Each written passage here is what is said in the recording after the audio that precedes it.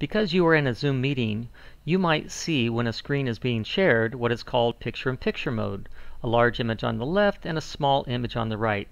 If you wish not to see that small image on the right, here are the steps. Go up to the View menu in the upper right and go down to Standard. Go back to that View menu and go to Full Screen. You still see this little floating window. Go to the View options for the screen share and select Hide Video Panel. Happy Zooming!